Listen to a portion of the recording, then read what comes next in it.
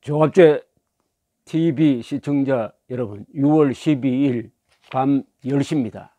내일은 지방자치 선거 날입니다. 오늘 어, 정상적인 한국인이라면 아주 충격적인 날을 보냈을 것이라고 생각합니다. 미국의 공화당 대통령 후보인 트럼프 씨가 주한미군 철수 이야기를 꺼내고 김정은의 부탁을 받았는지 한미 군사훈련을 취소하겠다는 폭언을 했습니다. 그 이유가 북한에 대한 자극적인 군사훈련은 할 필요가 없다. 이건 또 북한을 무슨 동맹국처럼 여기는 이런 망언을 쏟아냈습니다. 그리고 돈이 너무 든다. 장사꾼 중에서 가장 저질 장사꾼 같은 이런 이야기를 하면서 그동안 트럼프에 대한 의구심이 확인이 되었습니다. 이 사람은 정상적인 사람이 아닙니다. 그리고 미국 대통령입니다. 한국 대통령 아닙니다. 트럼프 대통령이 한국인을 보호해 줄 것이다. 한국인 중에서도 우파라고 불리는 사람들이 트럼프에 기대했던 그것은 원천적으로 잘못되었습니다.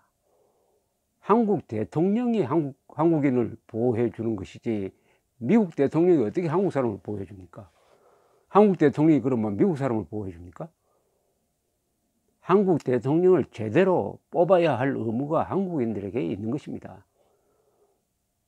트럼프 대통령은 문재인 대통령을 상대로 하는 사람이지 한국의 우파를 상대로 하는 사람이 아니라는 것을 알았어야 합니다. 트럼프에 대한 짝사랑이 배신으로, 배신으로 돌아온 것은 배신으로 돌아온 것은 뭐 어떻게 보면 자업자득입니다. 그러나 이번 기회를 통해서 한국 사람들이 가지고 있는 이 미국에 대한 생각, 주한미군에 대한 생각을 정리할 필요가 있습니다. 그리고 우파는 진정한 우파, 진정한 자유시민은 어떤 자세를 취해야, 취해야 되는지를 한번 냉정하게 생각할 필요도 있다고 생각합니다. 결론부터 이야기 드린다면 한국 사람은 트럼프의 팬클럽이 되어서도 안 됩니다. 안보에 관한 한 외국 사람에게 맡기면 안 됩니다. 어떻게 자신의 생명을 외국에 맡깁니까? 또 우파라고 하면은 그 기준이 국가 이익, 헌법, 그리고 사실에 입각해야 됩니다. 진실에 입각해야 됩니다. 시시비비를 헌법과 사실을 기준으로 가려야 합니다. 아무리 자기가 좋아하는 사람이라도 헌법을 무시한다든지 사실을 무시하면 안 됩니다. 우리 한국의 우파가 과거에 잘못했던 걸 몇 개를 지적을 하겠습니다. 2014년에 박근혜 대통령이 세월호 구조에 해경이 잘못했다 해가지고 해경 해체를 결정했습니다. 그때 한국의 우파 인사들 왜 침묵했습니까? 아니 해군이 잘못한다고 해가지고 해군을 없앱니까? 해경은 제2의 해군입니다.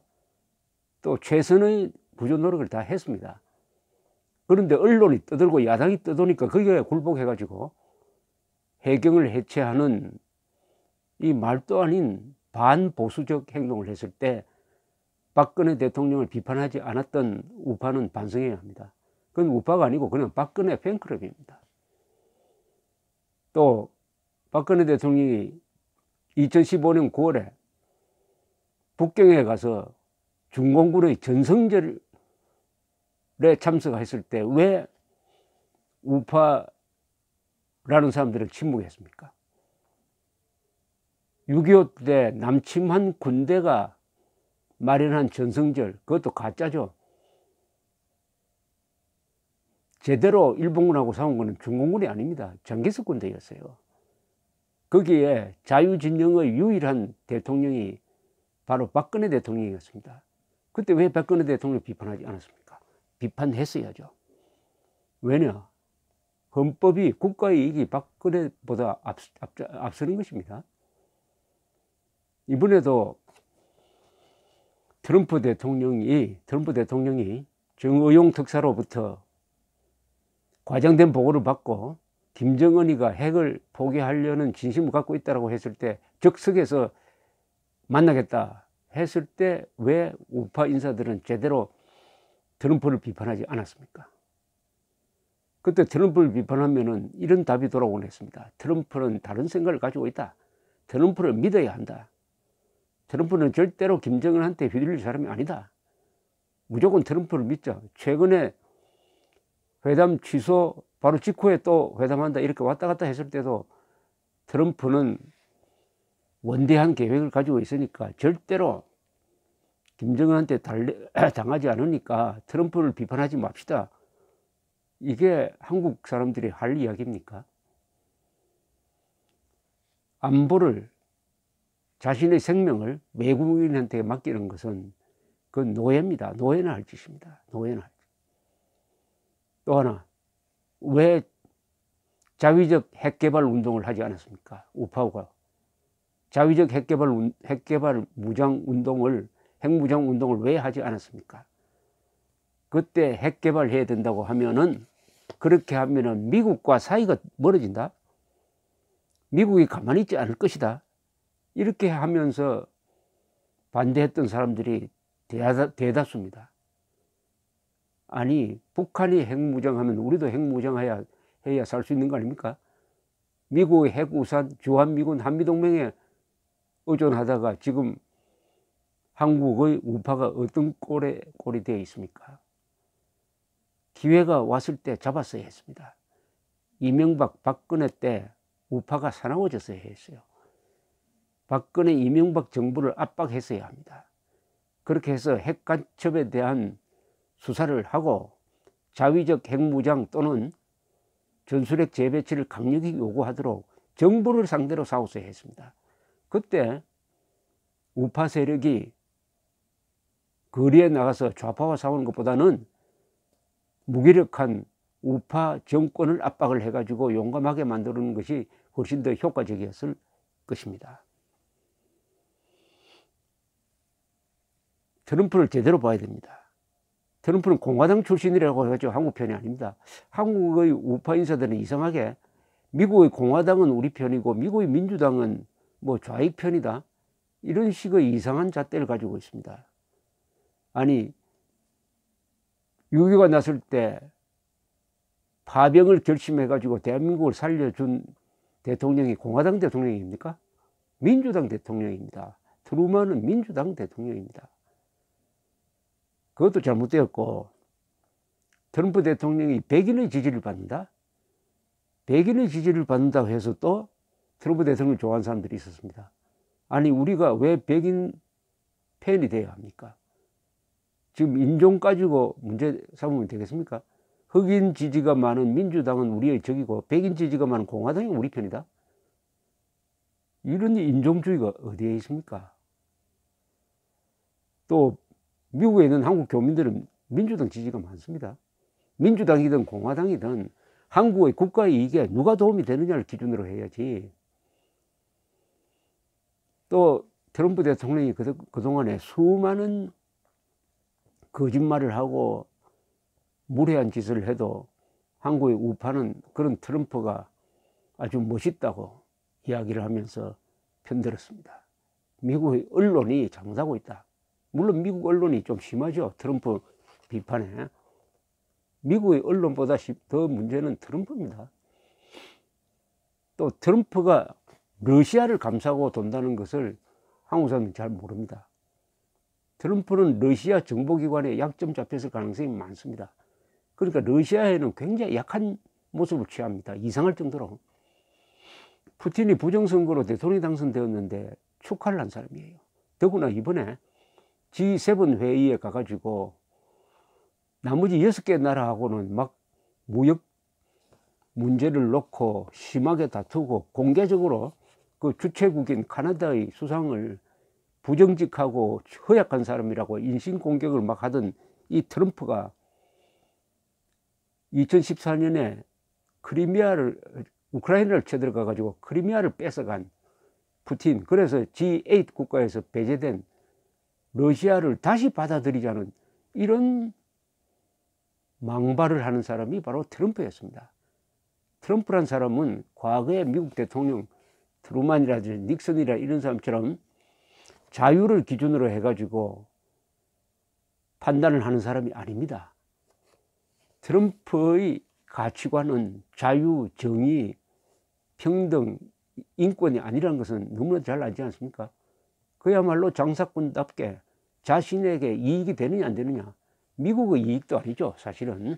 미국 이익을 앞장 세우지만은 개인의 이익이겠죠. 개인의 이익이라 하면 정치인의 개인의 이익이라면은 그것은 권력을 계속 유지하는 것입니다. 그래 플러스 이 사람은 리얼리티 쇼를 많이 운영하다가 보니까 현실과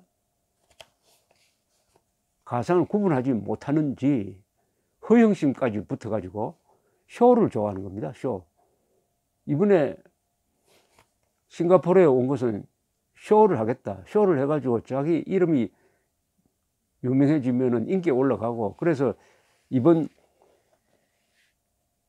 중간 선거에서 다수당을 놓치면 탄핵될 위험이 있으니까 어쨌든 선거에서 이겨보자 하는 그런 계산이었습니다. 그런 트럼프를 마치 자유세계의 지도자인 것처럼 생각했던 게 잘못이었어요. 자유세계의 지도자라면은 트럼프 대통령은 우방국과 연대했어야죠. G7, 일본, 그리하여 범자유 진영이 연대를 해야 북한을 다루기가 쉽습니다. 그리고 중국을 다루기가 쉬운데 그 연대를 깬 사람이 G7 회의를 그냥 깬 사람이 싱가포르에 와서는 비굴할 정도로 30대 초반의 독재자를 재능 있는 사람이라든지 아주 믿을만 하다든지 오늘은 완전히 김정은의 대변인 같은 추태를 보여주고 말았습니다. 이런 트럼프의 팬클럽이 되면은 한국의 우파가 여기 중도적인 사람으로부터 존경을 받겠습니까? 사대주의자, 이게 사대주의자 아닐까요?